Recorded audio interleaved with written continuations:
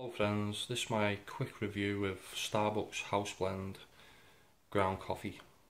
It's a medium strength roast and it says on the front rich and lively.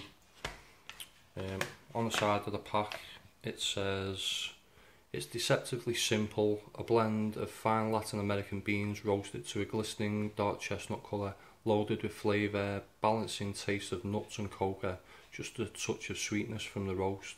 This coffee is our beginning, the very first blend we ever created for you back in 1971. A delicious cup of coffee, period. And yeah, it's a nice all round coffee. You can drink this all the time. Um, the first cup I had, I had a single strength espre um, espresso coffee.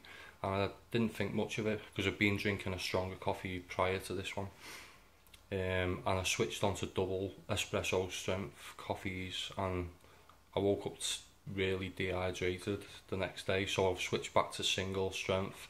And yeah it's a nice all-round coffee. You could you you drink this and not really get sick of drinking it.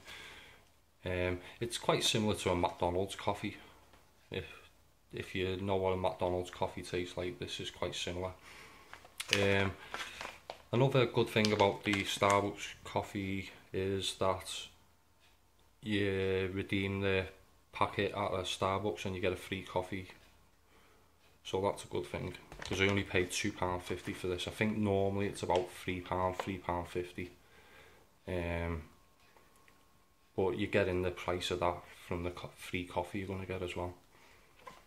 Um, it's it's all, also it's got a decent resealable bag as well.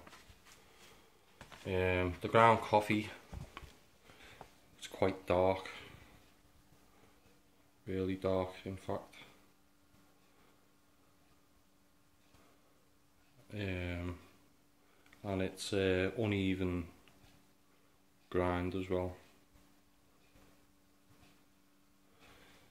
But as I say, it's a nice all round coffee. I could happily drink this all the time. Um, okay, thanks for listening to my quick review. Bye for now.